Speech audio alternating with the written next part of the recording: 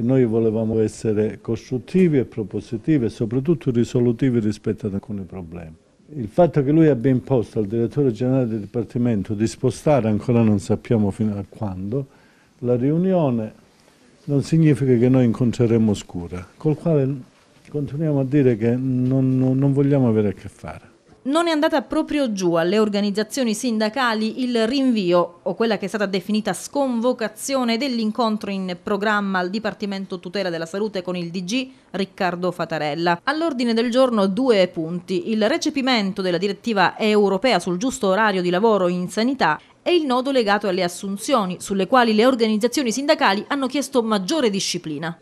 Noi come organizzazione sindacale diciamo che sostanzialmente si deve rispettare prima la legge e poi eh, renderla pratica, bisogna scorrere le graduatorie. E se non scorri le graduatorie indizione di nuovi concorsi non ne puoi fare. Dai sindacati l'annuncio di un'azione eclatante. Nei prossimi giorni, insieme ai nostri iscritti, ai nostri lavoratori, metteremo tutto il peso della nostra organizzazione per dire che Scura deve andare via ed è probabile che la mobilitazione possa svolgersi in concomitanza con l'arrivo del presidente Mattarella, atteso a Catanzaro venerdì prossimo. Cristina Iannuzzi per la C News 24.